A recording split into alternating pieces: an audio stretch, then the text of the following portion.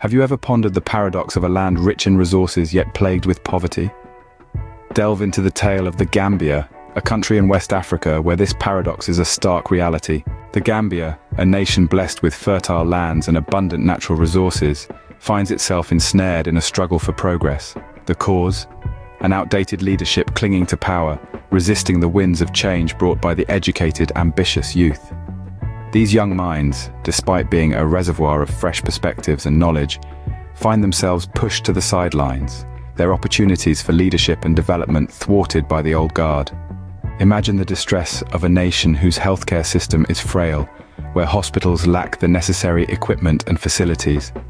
Citizens are left at the mercy of this fragile system, their plight compounded by low wages and skyrocketing unemployment rates. The high cost of goods in the marketplace hits the poor hardest, making survival a daily struggle.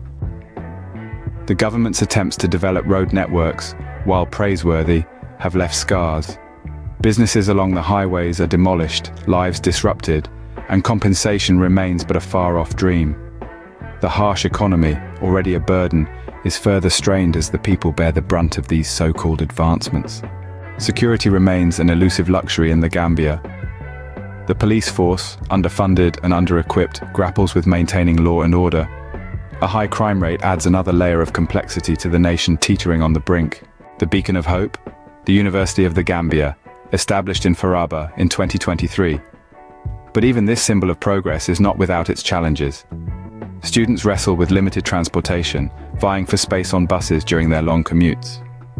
Despite academic excellence, many graduates remain unemployed in a job market where nepotism overshadows qualifications.